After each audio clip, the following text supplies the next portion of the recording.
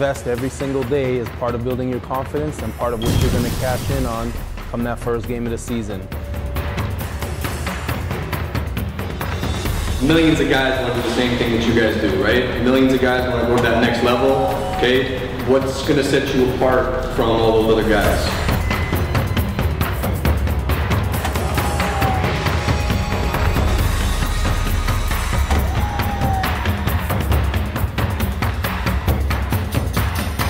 Want them to understand that as long as they bring that motivation with them each and every day when they walk in the door, we're going to get the best out of them and we're going to give them the best opportunity to succeed on the field.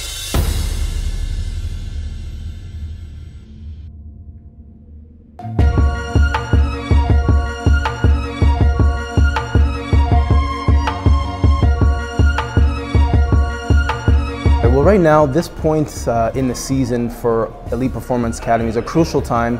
You know, we're in a bit of a transition period right now where, you know, as a coaching staff, we're evaluating the guys from our summer program, our summer D2D program uh, that went away to university. Uh, some guys were down in the NCAA, um, the rest of the guys that were in the CIS, and we're kind of analyzing their performance, checking in with those guys, and looking at how successful we were uh, as strength coaches in preparing those guys.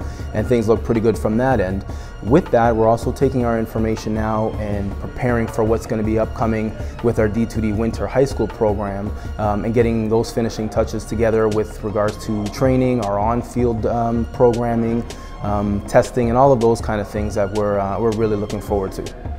Well, I mean, it's been busy for us, a uh, combination of training our, our, current athletes that are in here, obviously working their programs, uh, as well as keeping tabs on, on the guys that, that were here as part of the summer and part of the in-season program.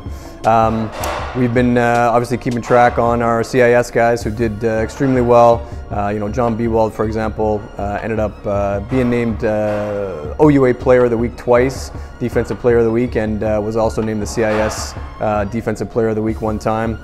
finished as an OUA All-Star, finished in the top 10 in four major defensive categories, um, sacks, tackles for loss, forced fumbles. just had an outstanding breakout year for him, and we're really excited to see what, what he's going to bring to the offseason and hopefully preparations for, for CFL draft next year.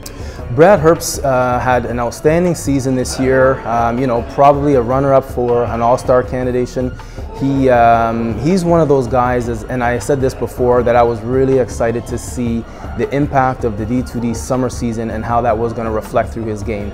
And I mean, there's nothing more I, I could have asked for as a coach in terms of being proud and how Brad performed. Uh, I think he really established himself as one of the up-and-coming linebackers in the CIS. He finished this year fourth uh, in the nation in tackles, uh, fifth in tackles for loss. I think he had about 10 and a half tackles for a loss, which indicate the type of player he is, you know, around the action, creating things, making things happen.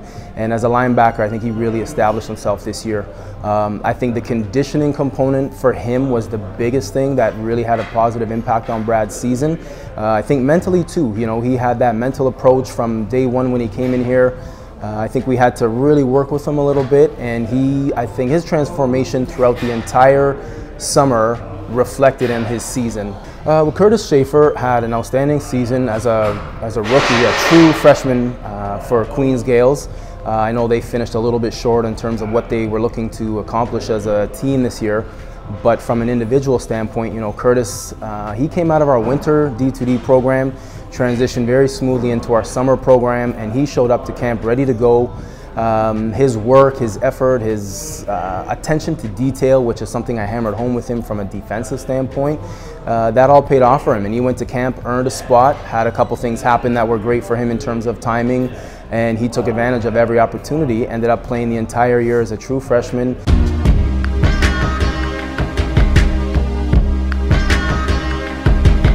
One of the things from the, um, the EPA athletes that we want to see and a big priority of ours is progression. The progression is a key with a lot of the kids. So all of the kids that come in, you know, from the moment that we have a chance to sit down, talk with them, discuss what our game planning is with them, um, and their parents as well, uh, we also we start long-term planning for those kids. So when we have a kid and he comes in at 14 or 15 years old, uh, some as young as 12, what we start doing there is putting a game plan with the long-term vision in place. Now, you know, for those kids that stay and go through that entire process of learning how to train, how to train properly, safely, effectively, we transition them along those. So we go from a D2D winter program, they put a couple years in through there. Uh, we have them in their on-field stuff with our Elite Football Academy, um, our Elite Speed Academy. And again, they're putting all of those components of training and performance together, building on what um, they're trying to achieve in pursuit of that vision. Um, the good thing is, you know, we've had a couple kids that have gone through our entire program and the results of their efforts um, investing in their performance and their future has started to show. You know, two kids in particular that we had were Carter Wilson uh, and Curtis Schaefer, who both started off in our um, Speed Academy, our Elite Football Academy, and started off with our D2 Winter program. They both transitioned uh, very nicely from those programs right into our summer D2D camp uh, with our university guys or those guys that are in pursuit of university. Um, Carter uh, Wilson ended up attaining his goal of uh, earning an NCAA Division One scholarship at University of North Dakota. He went through that system. Uh, Curtis earned the opportunity to go and play for the Queens Gaels. He went through that entire system, and those are two exam uh, excellent examples of guys that committed to the process, went through the winter, in season, off season, and uh, achieved what they wanted to achieve.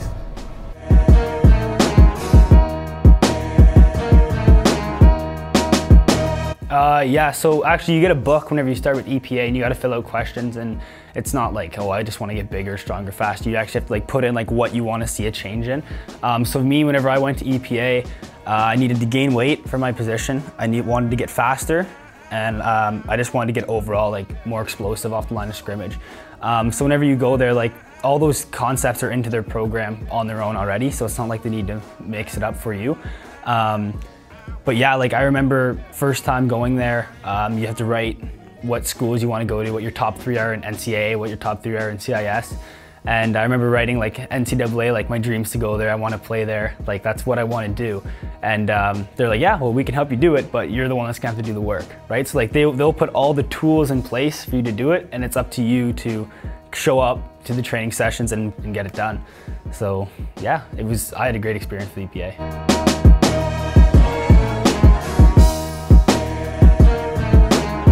Um, yeah, so like for me, I needed to gain weight. So Donnie put together um, a meal plan for me, and it honestly lays out like in the morning you're gonna have four eggs, and then you're gonna have a handful of nuts, and then you're gonna have, you know what I mean, your shake or whatever. So like stuff like that, like the little things, um, really help. Also at the end of the um, older 2D2 summer program with like the CIS and NCAA guys, um, you get like, they do protein at the end of a workout, right? Just making sure that even if you can't afford to buy the supplement, like you're still gonna get something um, to help you out. Um, and then also for me, like in my decision process, like once I got my offer from UND, like deciding on, okay, like should I commit to my first one? Should I wait? Like what, weighing the options and having having Pat who went through that, and also like Donnie who who went through that too. Like he was down the states and came back. Um, you know, just having their like experience and their like what they would do and like their opinion really does help a lot uh, going forward. And they're always they're always there for like anything you need. Like you text them, you call them. Like they're always there to talk, and it's great. It's a great support system.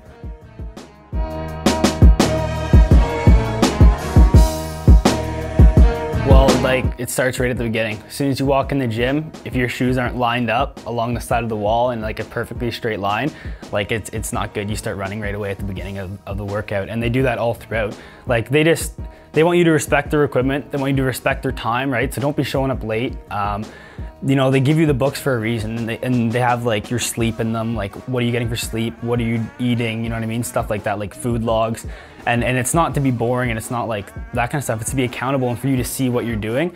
And also for them to see like if you're doing the right things or if it's their program, right? Because they have their program in place, but if you're not like eating right outside of the program and you're not, you know what I mean, getting the right sleep and you're not, you know what I mean, doing all the little things like that you should be accountable for, um, then their program's not gonna do as well as it could. So they just wanna see you succeed. And by doing the little things like putting your shoes to the right spot and bringing your books and bringing your after uh, workout nutrition, it's just ensuring that it's gonna become a strong habit and then eventually like it's gonna do you better in the long run because their program's gonna work.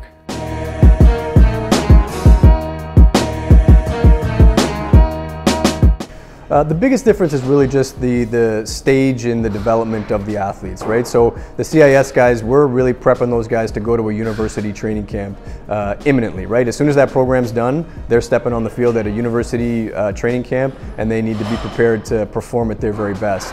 Uh, a little bit different for the for the winter D2D. These are high school athletes who are getting ready per, potentially for a spring season uh, or really just making the most of their off season to get ready for the summer or fall season next year. So um, a little bit more focused on development. Uh, obviously, these athletes are a little bit younger, so they're uh, just at a different stage developmentally in terms of their lifts, their power production, um, all those kind of things. So uh, just a just a matter of, of tailoring the program that uh, to make it appropriate to the athletes that we have. Uh, one of the things, you know, this particular NCAFA season that uh, Pat and myself decided to sit down was, you know, let's go and actually start to go and look and scout for some of the types of athletes that we're looking for, um, you know, in conjunction with what we know that other university coaches are looking for as well. So, you know, we made a decision to sit down, we plotted out what the NCAFA season would look like, went through all the scheduling, picked out some games that we wanted to see where we knew there'd be uh, certain athletes that would be uh, performing in those games and at the same time looking for some of those diamonds in the rough that would benefit from training with us at Elite Performance Academy. A number of the guys from last season's Winter D2D uh, maintained their training throughout the season and kept a, an in-season program, worked it around their schedule, and were able to maintain their strength and speed and all that stuff right throughout the season. Um, and uh, in fact, all, all of those guys ended up uh, being NCAFA All-Stars at the end of the season. Uh, Alex McComb and Evan Yorth for the Kanata Knights, uh, Quinn Stewart and uh, Brad Cowan for the uh, Bel Air Norsemen, and Matt Lachance for the Gatineau Vikings. All, fi all five guys actually maintained a solid in-season program, kept their strength, kept their speed, kept working it in between practices and games, and uh, it paid off for them uh, at the end of the season. A big focus of ours for this uh, for this fall season was to get out to some games and practices and actually see guys playing live. Uh, it's one thing to, to watch the film and, and, that kind of stuff and to see them in here training, but we wanted to see them performing on the field. We wanted to see them interacting with teammates, um, dealing with struggles during a game, how they reacted, all those kind of things. So uh, it was a great opportunity for us to, to see really see a lot of guys in action. And uh, you know, one of the one of the highlights for us obviously was uh, was the midget championship game uh, where Bel Air Norsemen were a bit of an upset upset champion, and uh, two of our guys uh, ended up doing extremely well. Uh, qu uh, quarterback Quinn Stewart ended up being the team MVP, and uh, defensive end Brad Cowan was the the team rookie of the year as well. those are two guys again that that maintained their in-season program, came through the D2D winter, trained all through the summer, all through the fall, and were able to keep performing at their highest potential throughout the entire season.